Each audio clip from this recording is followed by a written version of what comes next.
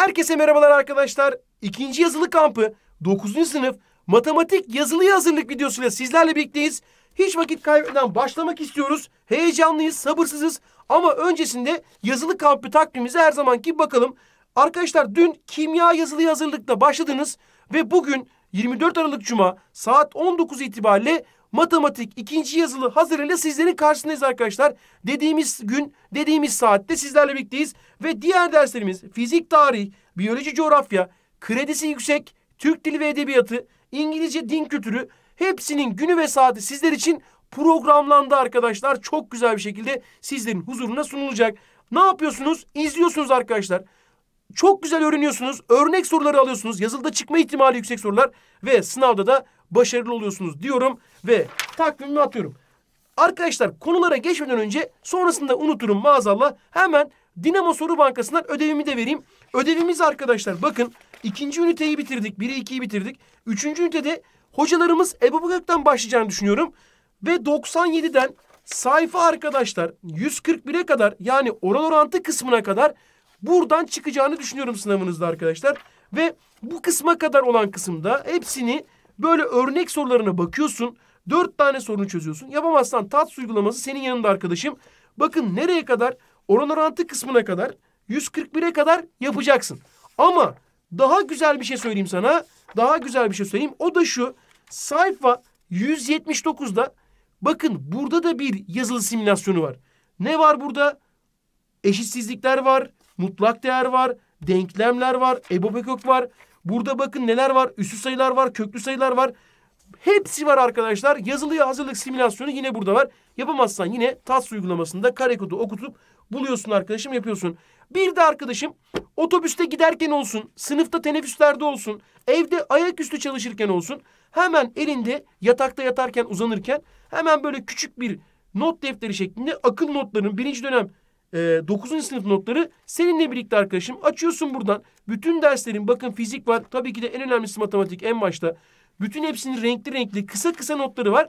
Buradan da akıl notları çalışabilirsiniz. Bayağı sizin için faydalı olacaktır diyorum. Ve artık sabırsızız. O yüzden ne diyoruz? Hiç vakit kaybetmeden yazılı simülasyonumuza ve konu özetlerimize başlayalım.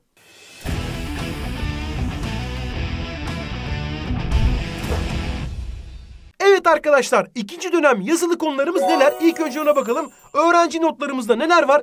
Bakın arkadaşlar neyle başlamıştık? Mantık konusunu yapmıştık. Kümeleri yapmıştık ve birinci yazılımızda denklem eşitsizlikler ünitesine girmiş. Oradan da sayı kümeleri ve bölme bölünme sorularını yazılılarda sorulduğunu düşünüyorum. Zaten mantığı kesin sormuştur hocalarımız. Kümeleri de kesin sormuştur. Buradan da sorulduğunu düşünüyorum. Birinci sınavda. Ve burada bir çizik attık. İkinci sınavımızda da EBOB ekök, periyodik problemler, birinci dereceden denklemler, birinci dereceden eşitsizlikler, mutlak değer, ikinci iki bilinmeyenli denklem eşitsizlik sistemleri, üstü sayılar ve köklü sayılar sizin sınavınızda olacağını, oran orantı sorulmayacağını düşünüyorum arkadaşlar. O yüzden de bakın bölme bölünebilmeyen çizgi çektim. Bu kısımlarla ilgili özetimizi anlatacağız ve sınavda çıkabilme ihtimali yüksek soruları sizlerin huzuruna sunacağım. Ama bir kere daha söylüyorum bu kısımdan ve bu kısımdan sınavınız varsa ilk yazılı videosunun son kısmına bakabilirsiniz. Orada da sizin için iki ya da üç soru vardı buradan. Onları da izleyebilirsiniz. Özet kısmını ve soruları sadece o kısa özeti ve üç soruyu izleyebilirsin. Ama bugün biz buraları anlatacağız arkadaşım. Dediğim gibi oran orantıya geçmeyeceğini düşünüyorum hocamın. Hemen başlayalım. EBOB, EKOK ve periyodik problemleri hatırlatalım. EBOB, EKOK neydi? EBOB en büyük ortak bölendi. Yani iki sayıyı da bölenler arasından en büyüğünü seçecektim. Ekok'ta en küçük ortak kattı. Burada da yapacağım şey 18 ile 24'ün katlarının arasından en küçüğünü almaktı. Bakın 18 ile 24'ü hemen yan yana yazabilirsiniz. Burada yaptığın şey ikisini de ortak bölenlere bakacaksın. 2 2 3 3 bakmana gerek yok. Hemen gördün mü gözünde 6'ya bölündüğünü? Ben gördüm. Burası 3, burası 4. Bakın ikisini de 6 böldü mü böldü. Şimdi burada da aralarında asal oldukları için hemen 3 ve 4 yazabilirsin. Hocam niye 2 2 3 3 yazmadın? Niye yazmadım? Çünkü gerek yok. Boş boşuna vakit kaybı dedim. Geçtim. Bakın 6 ikisine de ortak olduğu için hemen 6'yı aldım. Normalde buraya 2 2 2 3 3 diye yazabilirsiniz. Hiçbir sıkıntı yok. Ama gözle görülen büyük sayılar varsa ki 18, 24, 6 gözle görünüyor. Hemen o zaman buraya bunu yapıştıracaksın. Peki ortak katlarda ne vardı? Ortak katlarda da yine 18, 24 üzerinden yürürsek buradakilerin hepsini aynı anda almandı. Yani 6 çarpı 3 çarpı 4'ten dolayı bakın 3 kere 4 12 6 ile çarparsak 72 olacaktı. EBOB'la EKOK bu şekilde bulunuyordu arkadaşlar. Ve bunların problemlerinde de ne yapıyorduk biz? Bütünden parçaya gidiyorsak o zaman EBOB kullanıyorduk.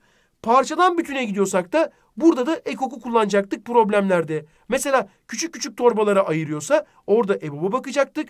Ama küçük torbalardan büyük bir torba yapmak istiyorsa burada da EKOK'a bakacaktık. Unutmayın. Şimdi EBOB'la EKOK'un özellikleri vardı. Onlar neydi? X ve Y sayıları aralarında asalsa bakın X ve Y sayıları aralarında asalsa bunların ortak böleni yoktur ki. Ortak böleni yoksa tabii ki de etkisiz eleman 1 olacaktır. Bunların e, neyi? EBOB'u 1 olacaktır. Peki bir de bilmem gereken müthiş önemli bir kural var. EBOB'la EKOK'un çarpımı arkadaşlar bu iki sayının çarpımına eşittir. Ve bu sayılar aralarında asalsa bakın EBOB 1 olacaktır. Aralarında asal sayıların EKOK'u sayıların çarpımıdır. Mesela 4 ile 3 aralarında asal mı? Asal. O zaman bunların ekokları 12'dir. Birbirlerine çarpımdır. Bunları unutmuyorsun. Ve unutma EBOB dediğimiz küçük sayıdan daha küçüktür ya da eşittir. Ekok dediğimizde büyük sayıdan daha büyüktür ya da eşittir arkadaşım unutmuyorsun. Periyodik problemlere geldiğimde periyodik problemler neydi? Bir ilaç kullanıyorsun. İlk gün salı gün kullanmaya başladın. 5 gün aralıklarla kullanıyorsun. Sana 19. günü sorarsa 19. gün için bakın 18 tane aralık vardır. O zaman 18 çarpı 5 yapıyorsun. Ne buluyorsun? 90. 90 nedir arkadaşım? 90 gün sonra 19. günü içeceksin. Unutma bak.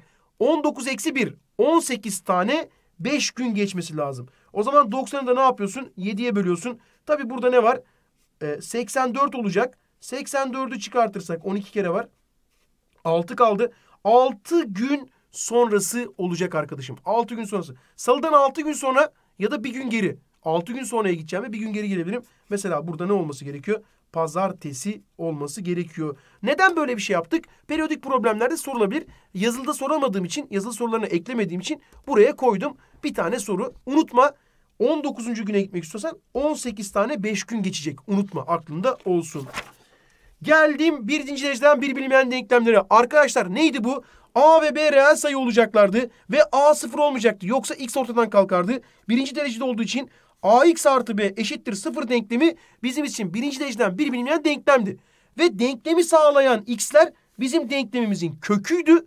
Ve denklemin köklerini hepsini bir yere yazarsam da bu da bana çözüm kümesiydi. Yani ÇK demiştik. Bu otobüs ismi değil. Yani Çekmeköy otobüsü değil. Ne demiştik arkadaşlar? Çözüm kümesi demiştik. Denklemi sağlayanlar denklemin kökleri. Denklemin kökleri de bir arada yazılırsa bu da çözüm kümesiydi. Ve burada unutmaman gereken belki kıl kıyrık bir soru sorulabilir ders sınavda. O da şu. A sıfır olursa bak x gitti. Burası sıfır oldu. B de sıfır olursa arkadaşım e B de gitti sıfır eşittir sıfır. O zaman ne yapıyorsun? Çözüm kümem reel sayılar diyordum ben. Ama A sıfır olursa bak X gitti. A da gitti sıfır oldu çünkü. B sıfır değilse 3 diyelim. E, 3 sıfır eşit mi? Değil. O zaman hiçbir X yoktur ki bu denklemi sağlasın. Saçma bir şey. 3 sıfır eşit mi? Değil.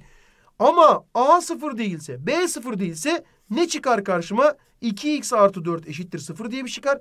Buradan da işlemi yaparsam B'yi karşıya atarım. A'ya bölerim. O zaman ne oldu? Çözüm kümem eksi B bölü A'dır. Ha ezbere yapmana gerek yok. Eksi 4, 4'ü karşıya at. Eksi 4 bölü 2 yap. Olayı bitir. Bu aklımda olsun arkadaşım. Peki eşitsizliklerde ne vardı? İlk önce aralık kavramı vardı. Aralık neydi? A, B'den küçükse. Bakın A, B'den küçükse kapalı aralıkta ne diyordum? Köşeli parantez yapıyordum A, B. Bunlar dahil demekti. Açık aralıkta ne yapıyordum? Böyle normal parantez yapıyordum. A ile B dahil değil ama arasındaki her şeydi. Yarı açık neydi? Yarı açık A dahil değil. B'nin dahil olduğu ya da A dahil B'nin dahil olmadığı olabilirdi. Üstten sınırsız ne demek?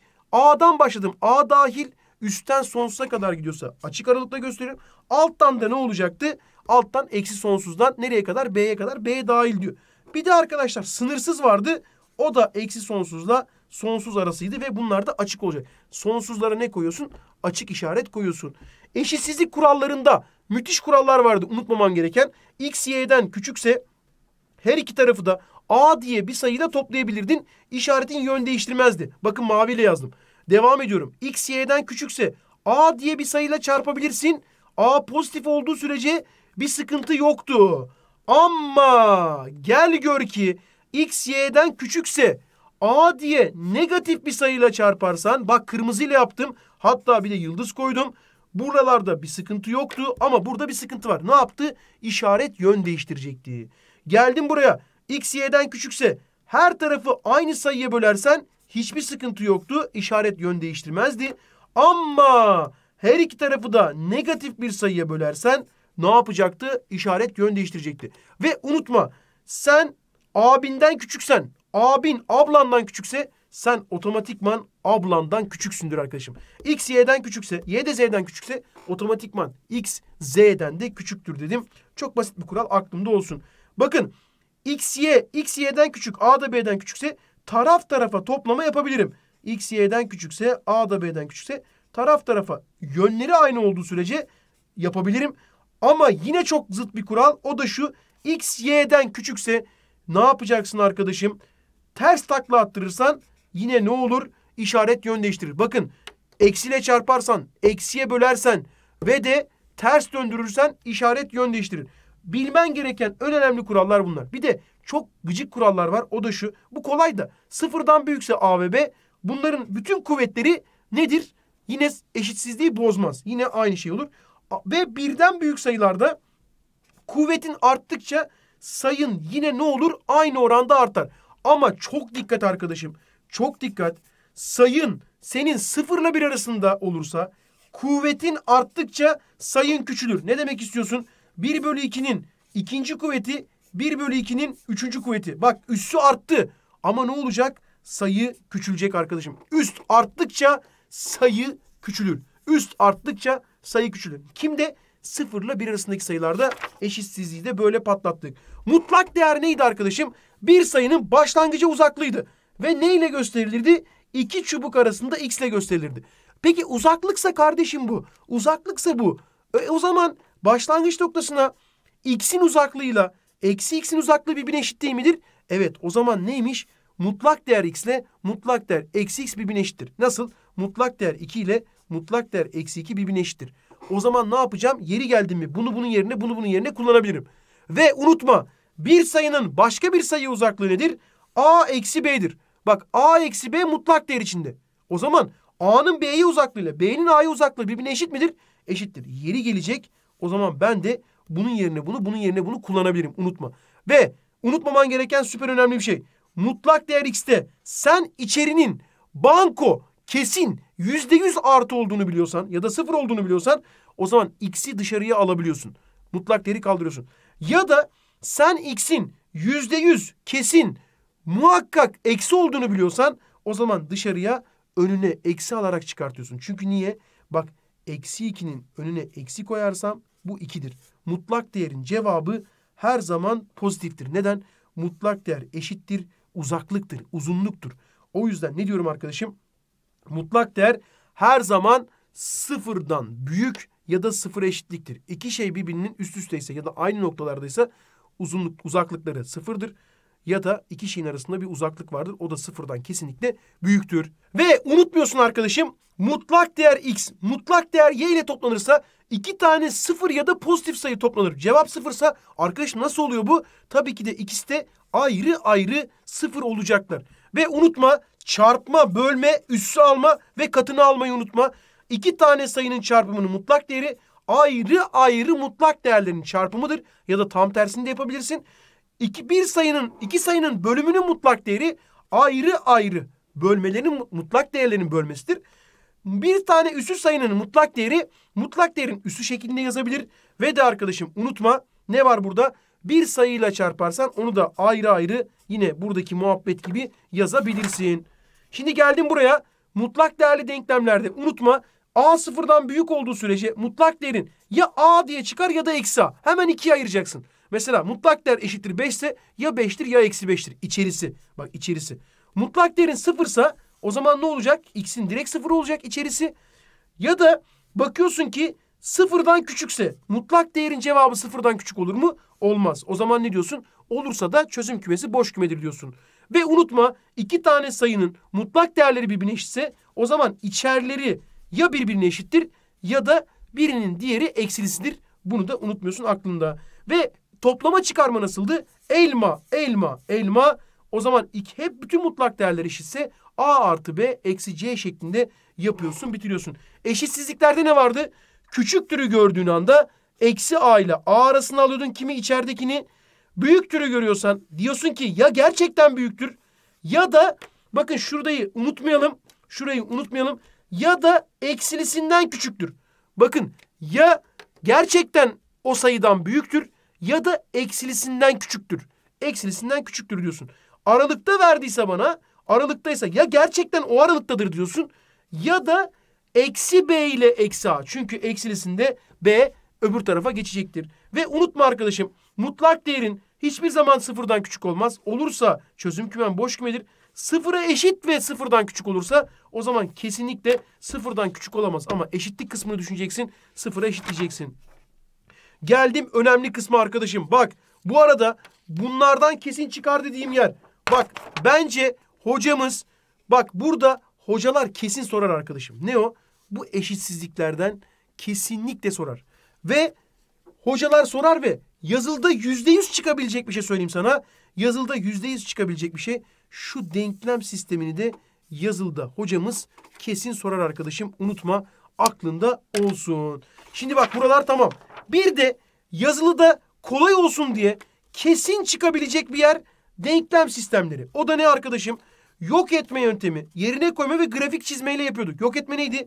Hemen kat sayıları eşitliyordun. Birinin diğerinin eksilisini yapıyordun. Taraf tarafa topluyordun. Biri yok oluyordu. Yerine koyma, birini çekiyorsun, diğer denklem yerine koyuyordun. Grafik çizmeyi tabii ki de sormayacaklardır ama grafik çizmeyle ilgili başka soru soracaklardır. Yani denklem sistemini bununla çözdürmezler ama grafik belki çizdirirler. Nerede çizdirirler? Onu da bence eşitsizliklerde yazılıda kesinlikle sorabilecekleri bir şey. O da ne? Eşitsizlikleri çizdirmek. Bakın eşitsizliklerin çözüm kümesini kesinlikle çizdirebilirler. Nasıl? Eşitsizliği denklem gibi yapıyorsun. Hemen denklem gibi x'e 0, y'ye 0 veriyorsun. Ona göre iki nokta buluyorsun, çiziyorsun. Ve de arkadaşım unutma. Eşitlik varsa düz çizgi, eşitlik yoksa kesikli çizgi yapıyorsun. Sonra basit noktalar verip bölgeyi buluyorsun. Ortak bölgede çözüm kümen. Bak bir tane sorun var bununla ilgili kafanı yorma göstereceğim. Ve denklem sisteminde bakın şuradaki önümdeki katsayılarım birbirine oranlı ve eşitse ne demiştik? Bu doğrular çakışıktır. Aynı doğrulardır. Sonsuz tane elemanı vardır diyorsun. Unutma. Devam ediyorum. Bakın burada x'in ve y'nin önündekiler birbirine eşitse bu sefer çakışık değil paraleldir. Paralellerse bunların hiçbir kesişimi yoktur. Boş kümedir çözüm kümesi. Ama a ile b'nin katsayıları, x ve y'nin katsayıları nedir? Birbirine oranlı değilse o zaman biri Anya'ya bakıyor, biri Konya'ya. Bunlar bir noktada kesişir, o noktada x, y'dir dedim, bitirdim. Ve en önemli konulardan üstü sayı var arkadaşım. Üstü sayılar neydi? En tane a'nın çarpımıydı. a üzeri n'di. Ve bir sayının sıfırıncı kuvveti birdi. Ve sıfırın istediği kuvvetleri sıfırdı. Ama sıfır ve sıfır nedir arkadaşım? Tanımsızdı.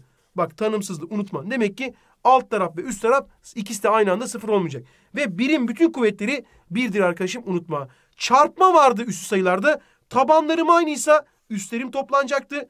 Üstlerim aynıysa ortak üsse girecekti unutma. Bölme vardı. O neydi arkadaşım? Tabanlarım aynıysa üstler çıkartılacaktı. Ama tabanlarım farklı, üstlerim aynıysa çarpma gibi ortak üsse alınacaktı. Ve üstü sayımda eksinin hiçbir anlamı yoktu. Tek bir anlamı vardı. O da takla attırmaktı. Bir eksi ne yapıyor? A üzeri n'i takla attırıyor. 1 bölü n, 1 bölü a üzeri n oluyordu. Bakın arkadaşım buradan kesinlikle ve kesinlikle hocalarımın yıldızı, bak hocalarımın yıldızı şu çarpma ile bölmeyi tersten soracaklardır, tersten. Bunu verecek sana, bunu verecek ve sana düzgün bir soru isteyecektir. Bu, bunu unutma. Hatta sana yazılı sorusu olarak göstereceğim. Bakın eksi bir sayının çift kuvveti eksiyi yutturur. Eksi sayının tek kuvveti arkadaşım bak unutma. Hemen şurayı düzelteyim sana. Burası artı bir olacak.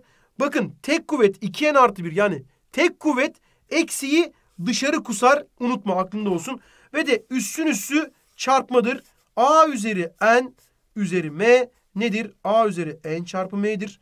Ve de Burada da aynı şey vardır. Üssün üssü çarpma olduğu için çarpmada sayılar yer değiştirebilir. Demek ki üste üssün üssü yer değiştirebilir.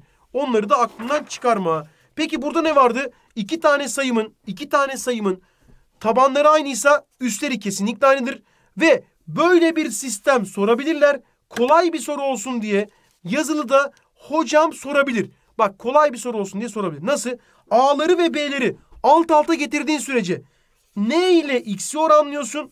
M ile de Y'yi oranlıyorsun. Unutma aklında olsun. Ve yine elma muhabbeti elmalar A'lar B'ler toplanır. C'ler çıkartılır. Yine elma muhabbeti aklında kalsın. Ve yine müthiş olay biraz önce söylediğimin tersi. O da ne? Çift kuvvetlerim varsa arkadaşım çift kuvvetlerimde ya sayılar birbirine eşittir ya da eksilisi eşittir. Niye? Çünkü eksiği yutuyordu ya çift kuvvet. O yüzden çift kuvvet eksiği yuttuğu için ne yapıyorum? O zaman ya birbirlerine eşitlerdir ya da eksilisine eşittir. Ama tek de olduğunda tek olduğunda üstlerim aynıysa tabanlarım kesinlikle aynı olmak zorunda. Ve cevabı bir olan bir üstü sayı varsa orada tabanım kesin bir olabilir. İki, üssüm sıfır olabilir ama dikkat et tabanın sıfır olmayacaktı çünkü sıfır üzeri sıfır olmaması gerekiyordu. Üçüncü kuralımda tabanım eksi bir olursa üssümün de çift olması gerekiyordu. Burada iki kurala, burada iki tane olaya dikkat ediyorsun. Burada da gözün kapalı tabanı bir yapıyorsun. Geldim köklü sayılara. Köklü sayılarda da arkadaşım bak. Ne vardı burada? Senin derecen çiftse kesinlikle ve kesinlikle kökün içi sıfırdan büyük ya da sıfıra eşit olmalıydı. Unutma. Tek olursa hiçbir sıkıntı yoktu. İstediği sayı gelebilirdi. Ve bütün köklü sayılar üssü sayı şeklinde yazılabilirdi. Nasıl yazacaksın arkadaşım üssü sayı şeklinde? Hemen üst üsse kök köke alt tarafa gelecekti. İki köklü sayının kök kök içine girerse dereceleri çarpılıp ortak köke yazılacaktı. Ve dereceleri aynı kökler aynı dereceli kökün içine alınacaktı. Yani bir kökün içine alıyorduk. Ve aynı dereceli kökler bölmede de aynı kökün içine alınır. Ve unutma dereceli köklerin kökün dışında da aynı dereceli üs varsa cevabın x diye çıkar. Ama kökün içinde x üzeri n varsa bununla bu giderse dikkat etmen gereken en çiftse mutlak değer kalır. En tekse normal x olur. Bak bunlar birbirine karıştırılır. Kökün üzeri n varsa direkt x. Ama x üzeri n varsa kökle n gidecekse o zaman mutlak değer tekse direkt ne yapıyorsun arkadaşım? x diye alıyorsun. Yani direkt dışarı çıkar. Ve unutma üstlerim genişletilebilir ve sadeleştirilebilir. Kimle? İçerideki üstle kökümün derecesi. Ve yine aynı muhabbet. Elma, elma, elma. A ile B'yi topladın, C'yi çıkarttın. Bu da nedir arkadaşım? Yine bir elma muhabbeti vardır. Unutma eşlenik muhabbeti vardı. Eşlenik neydi?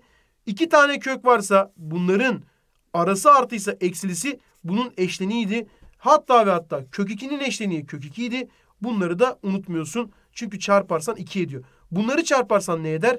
x eksi y ediyordu. Kök x kök x x kök y kök y y ediyordu. Arada eksi vardı. Ve bunu da bakın banko sorarlar demiyorum ama yazılı sorusu olarak zor bir soru olarak aklında olsun. 2 varsa kökün içinde buradaki hangi iki sayının çarpımı 6 toplamı 5'tir diye düşünüyorsun. 3 ve 2 olduğunu gördüğünde hemen kök 3 kök 2 diye ayırıyorsun. Artıysa artı, eksi ise eksi olarak veriyorsun. Bu da aklında olsun. İşte bu kadar. Şimdi arkadaşlar geldim yazılı sorularıma. Artık bu saatten sonra bakın yazılıda sorarlar. Hoca sorar. Kesin çıkar demiyorum. Çünkü artık yazılı sorusu ya ben bunlardan soru tutturacağımıza eminim. Yazılıda kesin hocamın soracağına eminim arkadaşım. Başlayalım. Bir kere EBOB EKOK'ta bakın unutmayın aklımızda olsun. EBOB ne demekti? En küçük en büyük ortak bölendi. Yani ikisinin içinde de 7 var demekti. O zaman ben diyorum ki A sayısının içinde 7 varsa o zaman bu 7M olsun. B sayısının içinde 7 varsa o zaman bu da 7N olsun. Ama unutma M, N aralarında asal olacak. Aralarında asal olmazsa bunların içinde de başka bir tane ortak bölen çıkar. O zaman 7 değil o ortak bölen de eklenirdi. O yüzden M ile N aralarında asal olacak. Bakın ekoku da biliyorsun sen 210 olduğuna göre. Aklıma bir kural geliyor. Neydi o arkadaşım? O kural EBOB AB çarpı ekok bakın şimdi ekok AB'nin çarpımı neydi arkadaşım? İki sayının çarpımına eşitti. E biliyorsun sen EBOB'un 7. E, ekok'un 210. E sayıların senin 7M çarpı 7'ne. E 7'lerle bir tanesi gitsin. E bununla da bu giderse oldu mu sana 30? E karşı tarafta ne kaldı? M çarpı N kaldı. Bakın dikkat. Bize ne soruyor? A artı B'nin en az değerini soruyor. Yani 7 parantezinde M artı N'yi soruyor. 7M 7 ne? 7 parantezinde 7 tane M artı N'nin en az olmasını istiyorum. Bakın çarpımım 30 sa bunu ilk dönem konu anlatımında ilk yazılıda konu anlatımında anlatmıştık. İki sayının çarpımı 30 sa en az olması için bu sayıların birbirine en yakın seçmem lazım. Hiç fark etmez. 5 ile 6 birbirine en yakındır. O zaman en yakınsa ben yerine koyuyorum hemen. Hemen yerine koyalım arkadaşım. O zaman A dediğin şey 7 kere 5. B dediğin şey de 7 kere 6 olacaktır. M ile N'yi yerine koydum. A dediğim şey 35. B dediğim şey de 42 olacaktır. Toplamları da bana ne verecektir arkadaşım? A artı B'nin ne olacaktır? 77 olacaktır. Ya da 6 5 hangisi olduğu fark etmez. Burası 11'dir. O zaman A artı B'nin toplamı 77 olacaktır. Unutma EBOB deyince hemen bunu yapıyorsun. Aklıma gelecek kural ikisinin çarpımı kuralı. Buradan da bu soruyu buluyorsun. Birinci sorum buydu. Bence çok iyi bir EBOB EKOK sorusu yazılıda çıkabilir aklında olsun.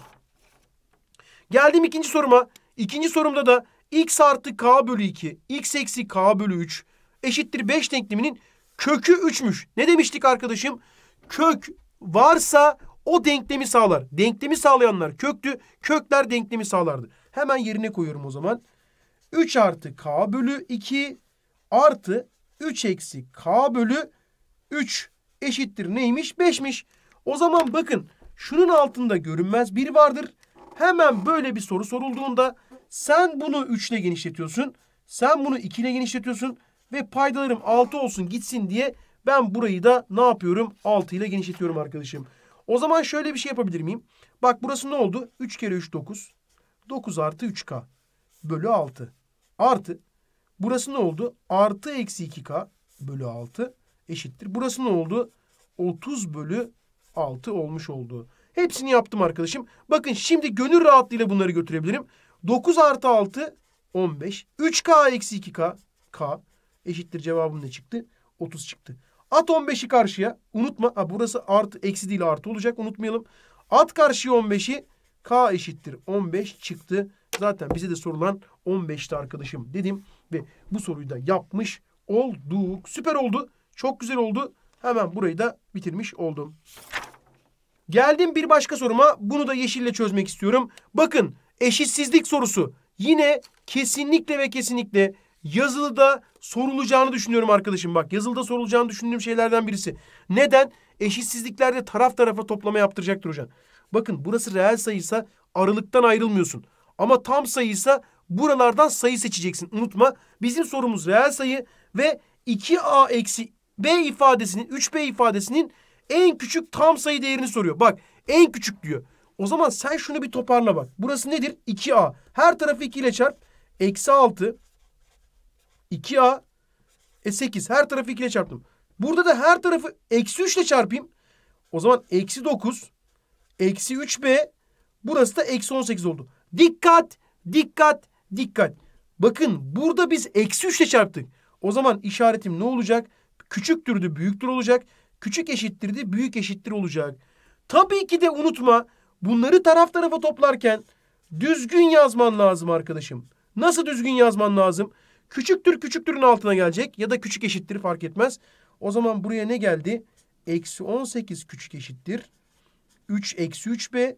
Bir de burada ne var? 9 var. Ne yaptım? Her tarafı burada çok güzel bir şekilde eksi 3 ile çarpmış olduğum. Şimdi çok dikkat ediyorsun. Eksi 3 ile çarptım. Düzgün yazdım. Şimdi taraf tarafa topluyorum. Taraf tarafa toplarsam ne çıkıyor? Bakın eksi 6 eksi 18 eksi 24 küçüktür. Burası ne oldu? 2a eksi 3b oldu. Burası da bakın eşitlik var. Eşitlik yoksa o zaman sen kimi alıyorsun? Eşitlik yok alıyorsun. Şimdi buraya kadar çok güzel bir şekilde yaptık. Bu arada bakın burası eksi 1, eksi 9'du. O yüzden de Şuradaki 7'yi siliyorum. Şuraya eksi 1 koyuyorum. Ufak bir hata yapmışız. Orayı da düzelttik. Bakın ne yaptık? Eksi 9'u buraya aldık. 8 artı eksi 9 eksi 1 oldu. Hatta şurayı bir de şununla geçeyim üzerinden. Şurada bir şey yok. Burası da eksi 1. Nasıl gözüküyor? Güzel gözüküyor. Bir sıkıntı yok. Bakın eksi 24 ile eksi 1 arasında bütün değerler olabilir. Tam sayı değerleri. Ama bana en küçük tam sayıyı soruyor. En küçük tam sayıyı soruyorsa arkadaşım. Burada en küçük tam sayım eksi 23 ne olacaktır? En küçük hatta şuraya da tam sayı dediğim. Arkadaşlar bunu da bu şekilde yapmış olduk. Yine söylüyorum yazılıda eşitsizlik sorusunun geleceğine eminim. İnşallah oraya da iyi bakmış olursunuz. Yine söylüyorum tam sayı olursa aralardan sayı seçip en küçük dediği için buraya uydurmaya çalışıyorsun. Ve işte banko sorulardan biri. Bak mutlak değerin olmazsa olmazı.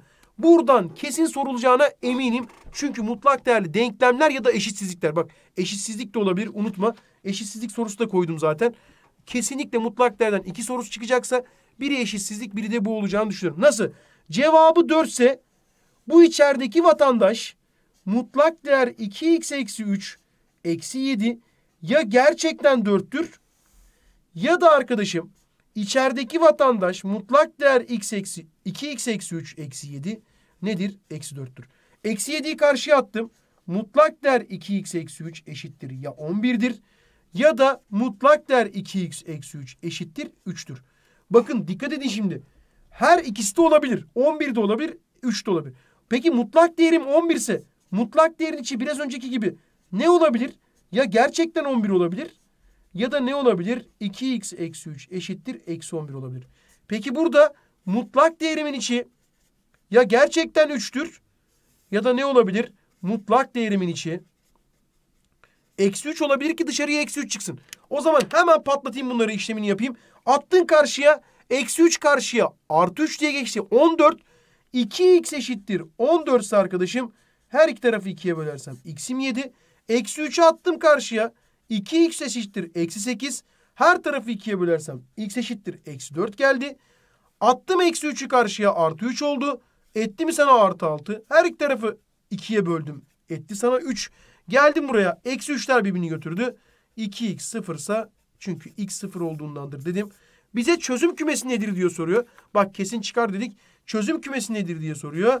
O zaman ÇK ne yaptım? En küçük kaç? Eksi 4. Virgül 0, virgül 3, virgül 7. O zaman ne yaptım? 4 tane sayımı buldum. Bakın buradan sorabilirler. Ha bu arada buranın cevabı eksi çıksaydı hiçbir eksi cevap olmaz diyecektim. Üzerini çizecektim. Oradan kök gelmez diyecektim. Yapacaktım. Yine müthiş bir yazılı sorusunu geride bıraktım arkadaşım. Geldim buraya. Bak mutlak değerli eşitsizlik sorusu. Ve burada çok tatlı bir olay var. Dikkat edin. Bakın burada mutlak değer içinde x eksi 2 var. Artı. Çok dikkat edersen şurayı eksi 2 parantezine alırsan eksi 2 artı x gelir. Ve de burası da 9'muş. Bakın arkadaşım ayrı ayrı yazarsan mutlak değer x eksi 2 artı bakın çarpma ayrı ayrı yazılabiliyordu. Yazdım. Burayı da ne yaptım? Yine yazıyorum. Hatta burası nedir? x eksi 2 ile aynıdır. Eşittir 9. Bakın burası nedir? 2'dir. Mutlak değer x eksi 2 artı 2 tane mutlak değer x eksi 2. Bakın 2, eksi 2 artı x ile x eksi 2 aynı şeydir. O zaman büyüktür 9 yaptım. Geldim buraya. Bakın elma elma. 2 tane bir tane. O zaman 3 tane elma yaptım. Aynı muhabbet. Büyüktür 9 dedim.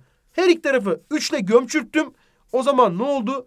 Pozitif sayıya böldüğüm için hiçbir değişiklik olmadı. O zaman ne diyorum arkadaşım? Bak çok dikkat et. Mutlak değerim 3'ten büyük. O zaman diyorum ki içerisi ya gerçekten 3'ten büyüktür ya da ne diyorum? İçerisi x eksi 2 küçüktür eksi 3'ten diyorum. Unutma ikisi de olabilir. Eksi 2'yi karşıya attım. Artı 2. O zaman ya 5'ten büyüktür. Bir de ne diyorum arkadaşım? Hemen söyleyeyim.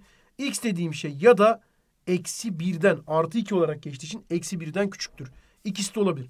Bana diyor ki x tam sayılarının toplamı nedir diyor. Arkadaşım bir düşünsene. Burada hangi sayılar var? 5 var, 6 var, 7 var, 8 var, 9 var. Nokta nokta sonsuza kadar gidiyorum. Burada hangi sayılar var peki? Burada hangi sayılar var? Onları da morla yazayım. Dikkat. Burada da eksi birden küçük ya. Eksi bir var, eksi iki var, eksi üç var, eksi dört var, eksi beş var, eksi altı var, eksi yedi var, eksi sekiz var, eksi dokuz var. Nokta nokta sonsuza kadar gidiyor. Bütün tam sayıların toplamı. Aa bir dakika 5 ile 5. 6 ile eksi 6. 7 ile eksi 7. 8 ile eksi 8. 9 ile eksi 9. Nokta nokta ile nokta nokta.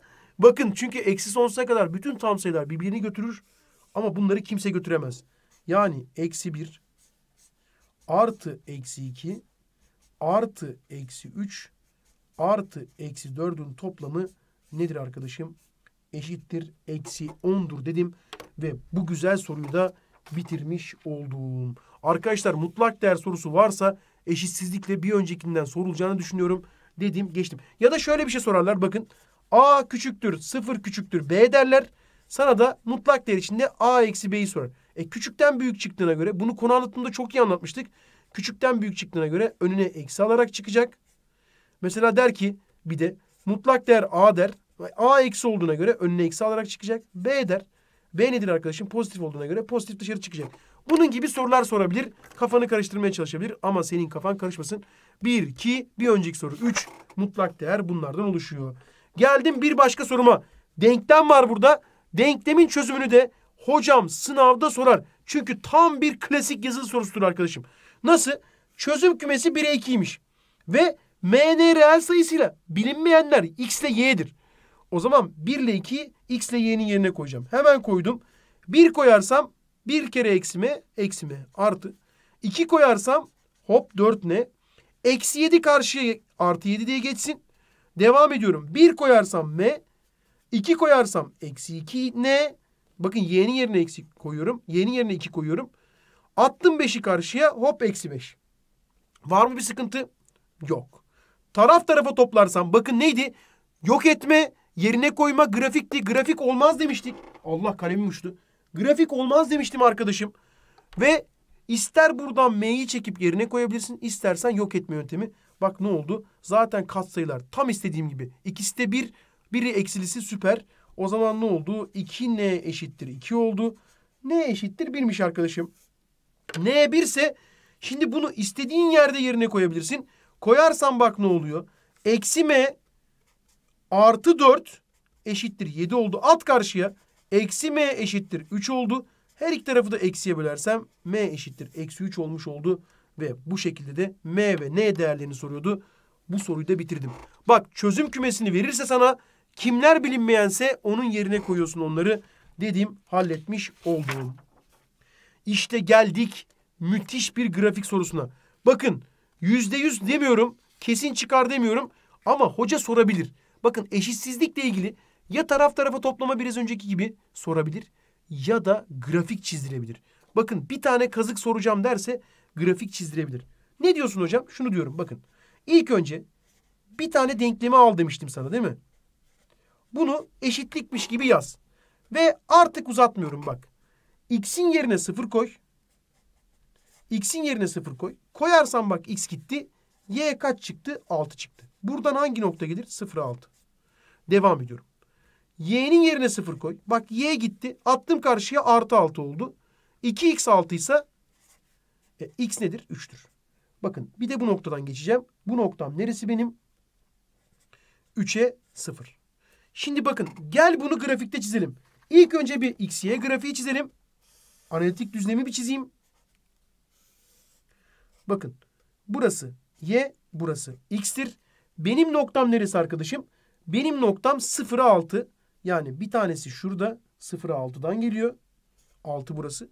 Bir tane de 0, 3'e 0'dan geliyor. O da burası. Şimdi eşitlik var mı? Yok. O zaman kesik kesik çizgilerimi çiziyorum. Bakın konu altında da söyledim. İlk önce denklem gibi yazıyorsun. X'e 0, Y'ye 0 verip noktaları bulup kesik kesik çiziyorsun. Çünkü eşitlik yok. Eşit olsaydı düz çizgi. En sonunda da basit bir nokta veriyorsun bak. Sıfıra sıfır veriyorsun. Sıfıra sıfır bunu sağlıyorsa bu alt taraftaki bütün noktalar sağlar. Sıfıra sıfır sağlamıyorsa üst taraf sağlar. O zaman bakın ne diyorum? Ben burayı lacivertle yazdım. Lacivertle çiziyorum. İyi izle. O zaman nedir? Sıfıra sıfır verdin. Sıfır, sıfır. Eksi altı küçük müdür sıfırdan? Kesinlikle küçüktür. O zaman buraları tarıyorsun. Birinci aşama buydu yaptım. İkincisi aynısının tıpkısının benzeri. Yeşille gösteriyorum. Eksi 2x artı y artı 6 eşittir 0 diyorsun. X'e 0 verdim. Bak bu gitti. Y eşittir eksi 6 çıktı. Y'ye 0 verdim. Bu gitti. X'i karşıya at. 2x eşittir 6 ise x 3 çıktı. O zaman öyle bir grafikmiş ki bu.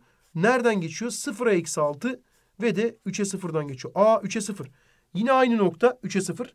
Bir de eksi 6'dan geçiyor. O zaman eşitlik var mı? Yok. Bunu da bu şekilde kesik kesik kesik kesik çizdim. Böyle gitti. Şimdi bu çizgiye göre bakın. Bu çizgiye göre basit bir nokta veriyorum. Sıfıra sıfır. Yani çizginin üstündeki bir noktayı verdim. Sıfıra sıfır verirsem bunlar gider. Altı büyük müdür? Sıfırdan kesinlikle büyüktür. O zaman ben de burada ne yapıyorum? Tonguç Akademi'nin bana verdiği yetkiye dayanarak bunları birleştiriyorum arkadaşım. Birleştirdiğimde de bana kesişim neresi gözüküyor? Bakın şöyle kesişim. Bakın burası sadece yeşil. Burası sadece lacivert. Burası boşluk.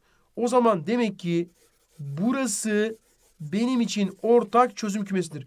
İşte eşitsizliklerin çözüm kümesi böyle bulunur arkadaşım dediğim süper bir yazılı sorusunda geride bıraktım. Hoca bir tık zor sormak istiyorsa bence bundan soracaktır. Aklında olsun. Geldim üssü sayı ve köklü sayılara.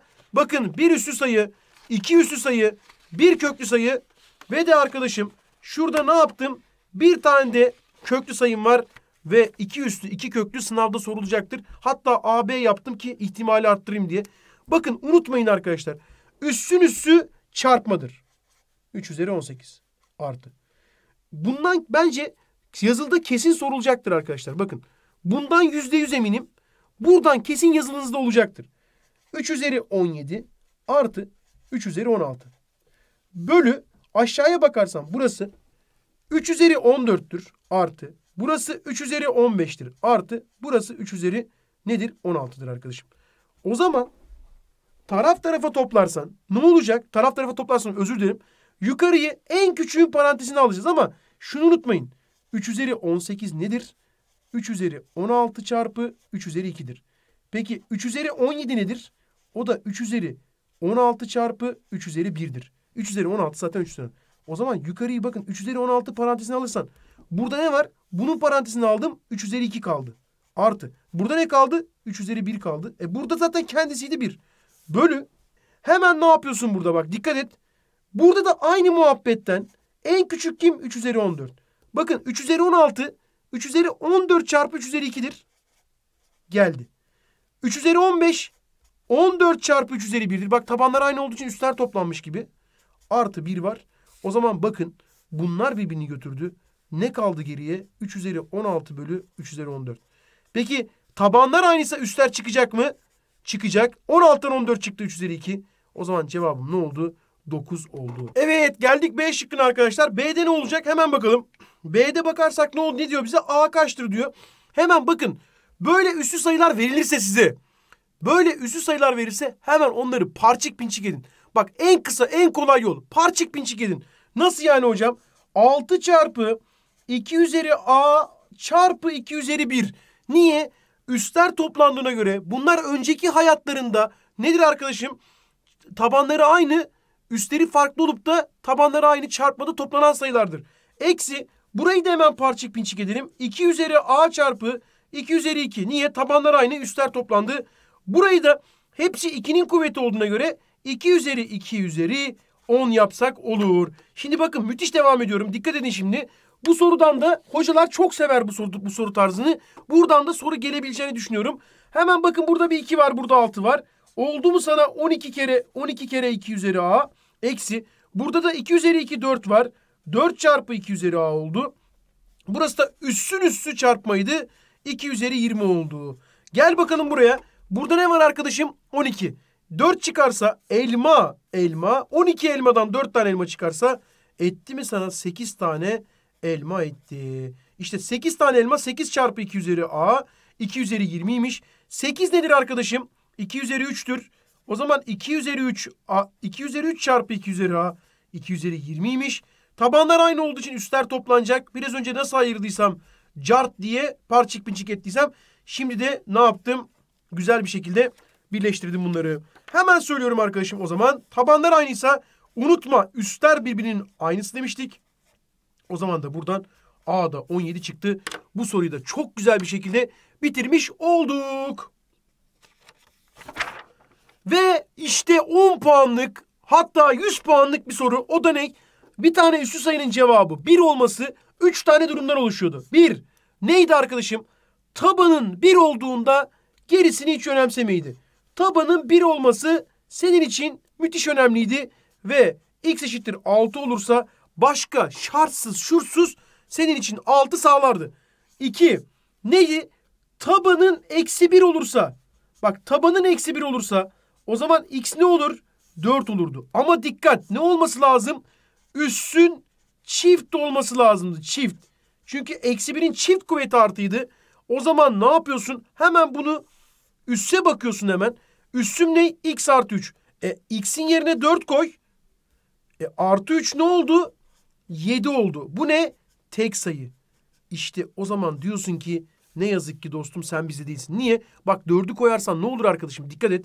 Eksi 1 üzeri 7. Bunun cevabı nedir? Eksi 1'dir. İşte çift olması gerekiyordu. Olmadı. O zaman bu kök olmuyor. Burası oluyor. Devam ediyorum. En son ne olacaktı? Üssüm 0 olacaktı. x artı 3 eşittir 0. Buradan ne geldi? x eşittir eksi 3 geldi. Ama dikkat et üssün 0 olurken taban 0 olmayacaktı. Taban eşit değil 0 demiştik. O zaman bakalım eksi 3'ü koyayım yerine. Eksi 3 eksi 5 daha ne oldu? Eksi 8 0 değil. Oh be güzel dedim. O zaman ne yaptım? x eşittir eksi 3 de benim köküm arasında. Sağlayan değerler toplamını soruyor bana. Bakın ne oldu? 6 olur, eksi 3 olur ama 4 olamaz. O zaman benim de x1 artı x2 eşittir 6 artı eksi 3.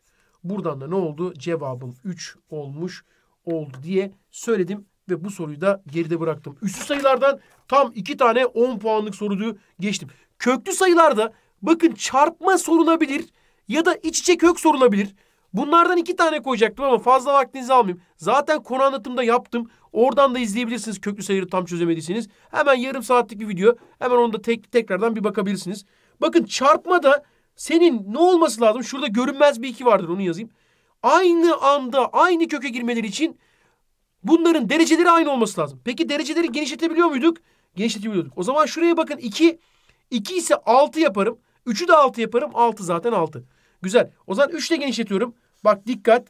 6. dereceden 3 ile genişletirsem x üzeri 9 çarpı. Burayı ne olacak? 6. Burası ne yaptım? 2 ile genişlettim. x üzeri 4 oldu bölü. Burası zaten kendiliğinden 6 idi. O zaman burası x. Hemen söylüyorum. 6 6 6 tek köke girerler. 6. dereceden kök x üzeri 9 çarpı x üzeri 4 bölü x oldu. Hemen devam ediyorum arkadaşım. Burada ne var? Bak şimdi çok dikkatli bak ne var. Burada 6. dereceden kök var.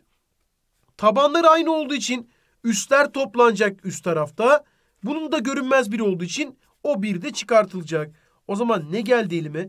6. dereceden kök x üzeri o 9, 13, 12 geldi ve olayım bitmiş oldu. Bu arada bakıyorum hiçbir sıkıntı var mı? Ne yaptım arkadaşım? Hiçbir sıkıntı yok. Bunları söylemiş oldum. Şimdi ne yapıyorum arkadaşım? Hemen burada ne yapıyorsun? Sadeleştirme de yapabiliyordum genişlettiğim gibi. 6'ya böldüm kök gitti. Hemen 6'ya böldüm. Ne oldu? X kare kalmış oldu arkadaşım. Çok güzel bir soruydu. Bu soruyu da güzel bir şekilde bitirmiş olduk. Geldim son soruma arkadaşım. Bak son sorumu nasıl yapacağım? Hemen onu da lacivert yapayım. Eşlenik, eşlenik, eşlenik. Eşleniği unutmuyorsun arkadaşım. Neydi? Payda rasyonel olması lazımdı. 2 artı kök 3'te genişleteceğim. Buradaki sayıyı da kök 6 eksi kök 7 ile genişleteceğim. Buradaki sayıyı da kök 7 eksi kök 8 ile genişleteceğim. Genişletirsem ne olur? 1 ile çarparsam 2 artı kök 3 bölü 2 kere 2 4 kök 3 kere kök 3 3 burayı hallettim. Çarpı geldim buraya kök 6 eksi kök 7 bölü kök 6 kök 6 6 kök 7 kök 7 7 artı buraya geldim kök 7 eksi kök 8 bölü kök 7 kök 7 7 kök 8 kök 8 8 bunu da yaptım. Şimdi çok dikkat ediyorum arkadaşım. Burada burası 1 olduğu için Burası 2 kök 3 çıktı. 2 artı kök 3 çıktı. Devam ediyorum. Çarpı bunun paydası eksi 1. Bunun paydası eksi 1. Ortak paydayı yazabilirim. Yani kök 6 eksi kök 7 artı kök 7 eksi kök 8 bölü ortak paydası eksi 1. Hemen şuradan yapayım daha güzel gözüksün. Şurada bunlar bir bütün tabii ki de 2 artı kök 3 var. İçeride de bakıyorum ne var? Kök 7'ler birbirini götürmüş. Eksi 1 ile eksi 1 ile çarpayım hatta. Burayı da şöyle yapalım. Kök 6 eksi kök 8 var. Bölü eksi 1 var. Eksi 1 ne yapar? Bunu yer değiştirir. Yani eksilisi yapar. Eksiyle çarpılacaksın paydayı ve payı. O zaman ne çıkar? 2 artı kök 3 çarpı burası da kök 8 eksi kök 6 olmuş olacak. Hemen bakın çarpalım. Çarpmadan önce dikkatimi bir şey çekti arkadaşım. Çok önemli bir şey. Şurayı kök 2 parantezine alırsam. Bakın burayı kök 2 parantezine alırsam ne olur? 2 artı kök 3 çarpı şurayı kök 2 parantezine alırsan şurası kök 4 eksi kök 3 olur. Buradan da 2 artı kök 3 çarpı bakın kök 2 çarpı burası da 2 eksi kök 3 oldu. E arkadaşım şunlar eşlenik değil mi? Eşlenik. 2 2 4. 3 kök 3 kök 3 3 çarpı bir de şurada kök 2 var. O zaman cevabım ne oldu? 1 çarpı kök 2'den cevabım kök 2 çıkmış oldu. Çok güzel bir soruydu arkadaşım. Bu soruyu da yaptık. Artık yazılıya hazır olduğumuzu düşünüyorum. Ve buradan da kesin çıkar demesem de yine yazılılarının vazgeçilmezi eşlenik soruları arkadaşım. Bu da aklında olsun diyorum. Ve yazılı sorularını bitirdim. Ödevini verdim arkadaşım. Ne dedim? Bak dedim ki Dinamo'dan sorularım var. Yazılı simülasyonu burada da var dedim. Kesinlikle yap. Artı okulda, otobüste, teneffüs aralarında yatarken uyumadan önce eline alıp güzel güzel okuyabileceğin akıl notları da var. Bunları da yazıdan önce kullanırsan faydalı olabilir. Bunları unutma arkadaşım dedim ve çok güzel sorularımı bitirdim. İşte ödülü sorudan önce yorumlarınızı çok önemsiyoruz arkadaşlar. Tonguç Akademi olarak yorumlarınız aşırı önemli. Çünkü bize yön veren sizsiniz. Güzel yorum yapıyorsun, mutlu oluyoruz. Daha da çok şevklenip çalışıyoruz. Eleştiriyorsun, eleştirini ciddiye alıp hemen onunla ilgili çalışmalara, araştırma geliştirmelere başlıyoruz arkadaşım. Birinci adım, video yararlı oldu mu? Hemen bununla ilgili bize bir görüş, geri dönüş yapmanı öneririz her zaman. İkinci adım, bize öneri tavsiyen nedir? Tamam yararlı oldu ya da olmadı diyorsun ama ne yararlı oldu, ne olmadı, önerin var mı, tavsiyen var mı onları da yaz. Üçüncü olarak ödüllü sorular bizim için değil sizin için arkadaşlar. Ödüllü soru senin konuyu anlayıp anlamadığını önemli. O yüzden ödüllü soruyu bildiğinde hemen oraya yaz. Bizden de geri dönüşü al. Ve de son adım arkadaşlar videoya like atmayı unutmayın. Çünkü biliyorsunuz YouTube algoritması like ve yorumlarla yürüyor. Evet arkadaşlar Tonguç Akademi'de sizin like'larınız ve yorumlarınızla kendini geliştirip sizler için nasıl faydalı olabilirim diye her zaman düşünüyor. Tabii bunun için en önemli etken sizsiniz. İnşallah yazılınız iyi geçer. İnşallah sınavdan e, güzel bir not alırsınız diyorum. Size sonuna kadar güveniyorum. Tonguç Akademi'yi bugüne kadar takip ettin. Ödevlerimizi kitabımızdan yaptıysan ve de yazılı yazılı bir simülasyonunu da çok iyi izlediysen, notlarını da aldıysan artık başarı kaçınılmaz. Bunları da gördün. Ne yapman gerektiğini biliyorsun. İşte karşında ödül soru. Bu da bir yazılı sorusu olabilir. Çok dikkatli çöz. Çözemediyseniz yorumlarda tartışmaları göreyim. Bakalım kimler nasıl yapmış. Kendinize iyi bakın. Sınavda başarılar. Görüşürüz.